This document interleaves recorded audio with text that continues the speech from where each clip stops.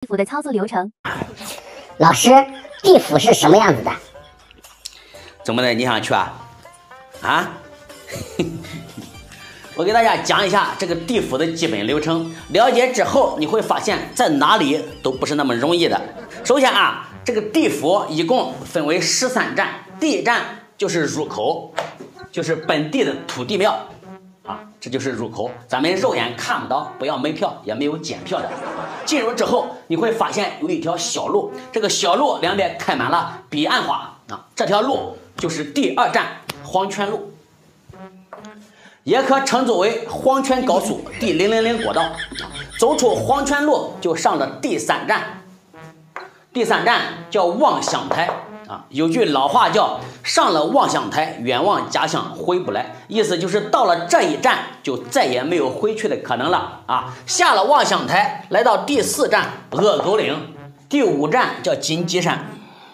这两站的名字你一听就很恐怖，很多恶狗和这个什么金鸡骚扰过往的灵魂。再往前走就到了第六站，第六站叫野鬼村。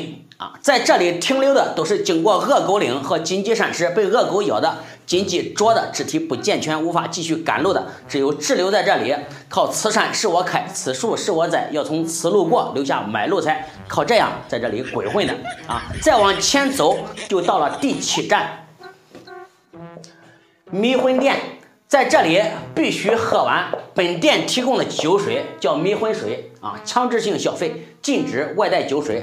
不喝的话，怕你到十殿阎王那里审问你时，你不讲实话，不老实啊。再往前走就是第八站，你会看到一座城，城门上写了一副对联，上联是人与鬼，鬼与人，人鬼殊途；下联是阴与阳，阳与阴，阴阳永隔。横批就是丰都城。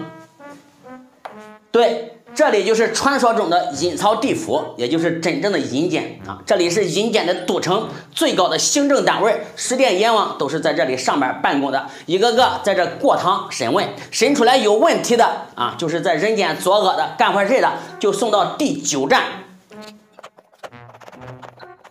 十八层地狱，根据你作恶的程度送去相应的地狱，没有问题的送到第十站。供养阁啊，这里相当于邮局菜鸟驿站，家里烧的什么纸钱啊，什么东西的，就是在这领。领完东西之后，去第十一站，叫做鬼界堡。这里相当于宿舍，投胎前都是在这里排队住在这里的。紧接着就是第十二站莲花台，莲花台啊，投胎前。地藏王菩萨在这里给做思想工作的，然后就是最后一站，十三站还魂崖。还魂崖啊，崖边啊有一座桥，就是闻名于世的奈何桥。这个奈何桥上有一个老太太，叫做孟婆神，这是地府饮料业的铁娘子。她旗下有一款著名的饮料，叫做孟婆汤，在这里是强制性消费的。不喝你就过不去，喝了你就会忘记前世的恩怨情仇、是是非非，然后啊投胎各处。过了桥之后有六个圆道，发出各色的光，这个呢就是六道轮回啊，投哪个跳哪个就行了啊。好了，就讲到这吧。老师，你讲那么清楚，是不是去过？喂，我投你我不去，兄弟。